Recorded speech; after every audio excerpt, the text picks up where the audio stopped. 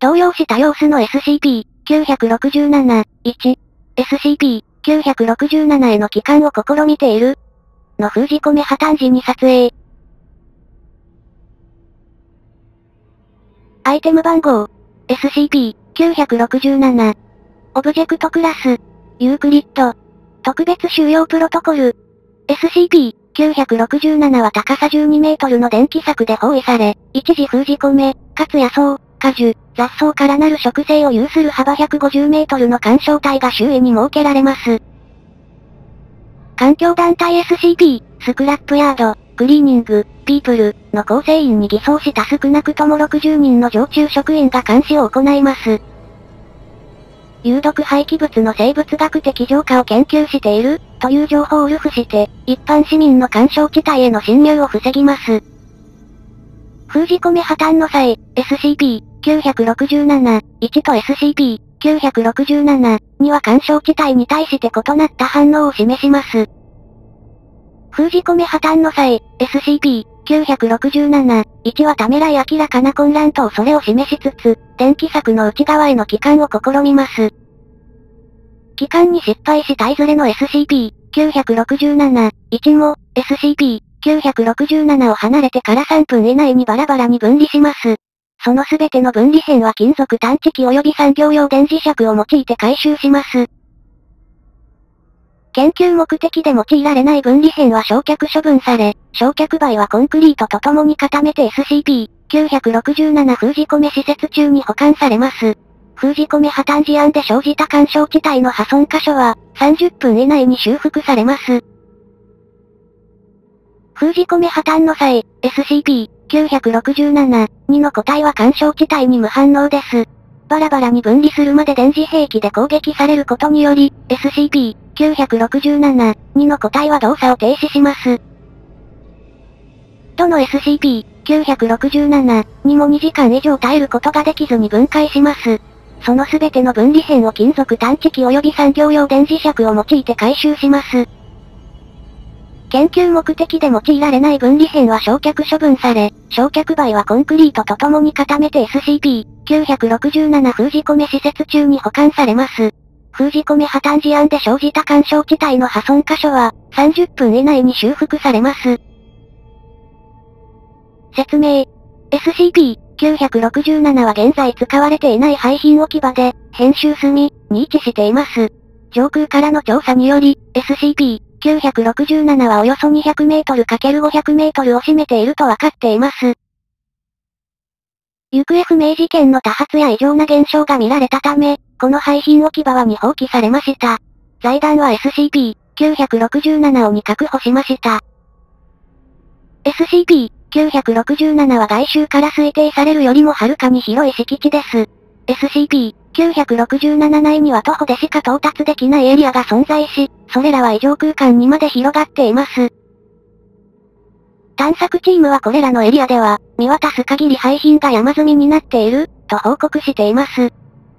SCP-967 では廃品置き場で通常見かけるような物品、すなわち古い車、廃棄された機関車、使われなくなった小型船舶や家電製品の山などが見られます。さらなる探索により、現在の人類の科学技術水準では説明がつかない残骸や廃車が発見されています。探索チームの報告によると、SCP-967 内部には幅広い種類の歩行可能なクリ、チャーが存在します。これらは SCP-967、1と総称されますが、SCP-967 自体を構築している廃品類と同様の物品からランダムに構築されているようです。攻撃的か否かは個々の SCP-967、1で異なり、地生体であるようには見えません。SCP-967 の敷地境界より外部に搬出された場合、SCP-967、1は速やかに分解され、バラバラの部品の山が残ります。詳細な調査を行っても、個々の部品あるいは部品の集合の両方に、得意な性質は見つかりませんでした。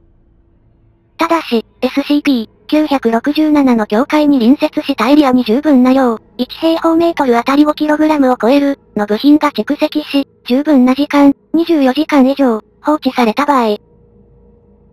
そのエリアが SCP-967 化して SCP-967 が拡大します。ホイ1、知性の面では動物に類似した多様な SCP-967、1に加えて、SCP SCP-967 には知性を持つクリ、チャーが存在することが判明したため、これらを SCP-967、2と総称します。これらとは交渉が可能です。アーカイブ967、M、58、接触及び文化人類学的観察ログ、参照。ホイに、SCP-967、2には、行動や態度が他とは大きく異なる複数の、部族、とでも呼ぶべきや集団が存在することが判明しています。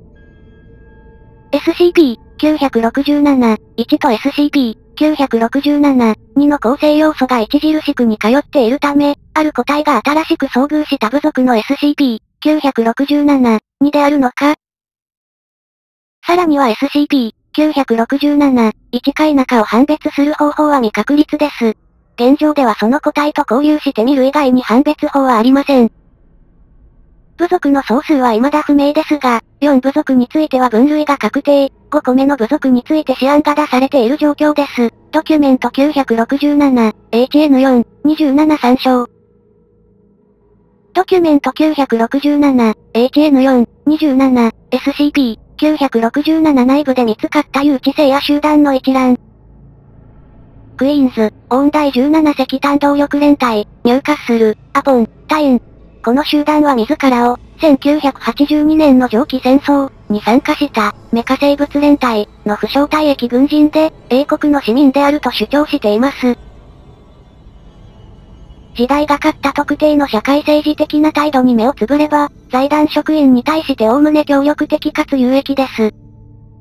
SCP 967の束縛から逃れられるように、修理を行ってほしいと財団に繰り返し要求しています。ギブ、テイク、交易を行う遊牧性の集団です。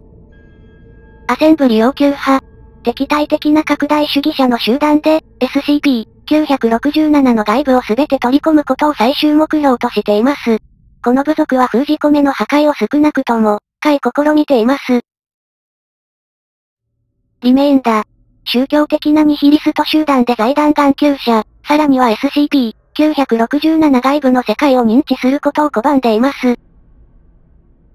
バレエアカデミー。探索チームはその自由動的行動からこの集団を非知性体であると評価しました。